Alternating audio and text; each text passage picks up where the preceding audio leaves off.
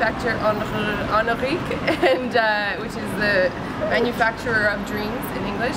And I'm with Paola, who's my buddy, and also um, a fucking amazing uh, dyer of things. She does natural dyes. This is one of her beautiful capes, and this is one of her beautiful scarves.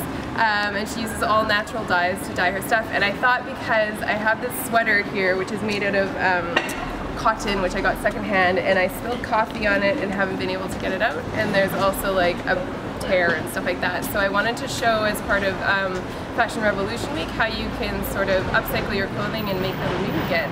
So Paola's going to help us and we're going to show you how she does it uh, inside her beautiful atelier downstairs. Um, so come on.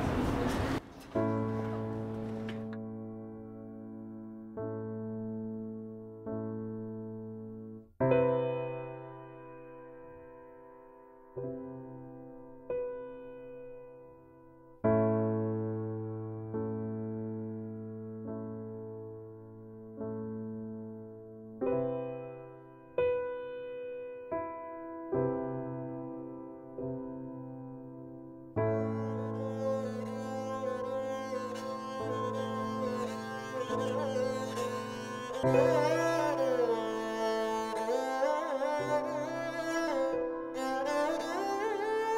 you.